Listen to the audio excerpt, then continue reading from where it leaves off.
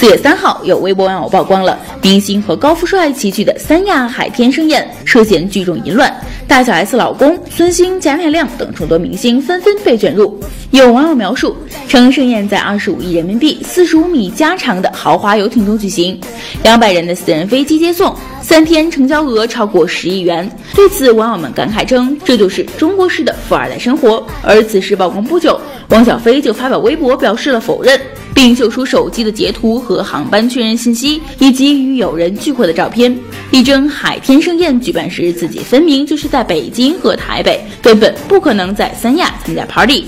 虽然大 S 老公撇清了关系，但小 S 老公徐亚军却是在劫难逃。从爆料者曝光的照片中可以看出，徐亚军、孙兴均在其中。据悉，今年三亚市出动了大批警力，party 被查抄，所有的人都在做尿检。而此事因为有大量的美女与嫩模参与，所以此事又被网友讥讽成为“爆场黑木耳”。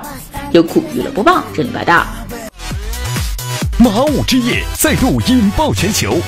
最新 style 即将横空出世，鸟叔韩国首尔演唱会，四月十三日十七点三十分，优酷音乐独家直播。